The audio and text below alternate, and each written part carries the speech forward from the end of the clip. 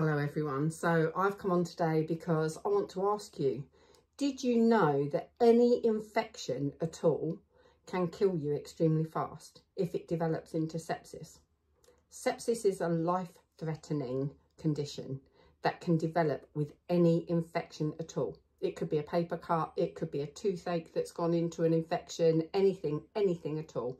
It doesn't discriminate on age. It doesn't discriminate on whether you are fit and well. It doesn't care. It will attack your whole body and it will start shutting down your vital organs extremely fast. You need to be aware of the symptoms. If you have an infection, watch out for slurred speech and confusion, extreme shivering and muscle pain, passing little or no urine in a day, severe breathlessness, it feels like you're going to die, skin mottled or discoloured.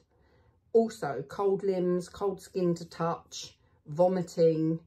Um, in young children, it can be sleepiness. They're very difficult to rouse. Any of these symptoms, you might only get one of them. But with an infection, you need to get checked. Get immediately to A&E and ask them, could it be sepsis?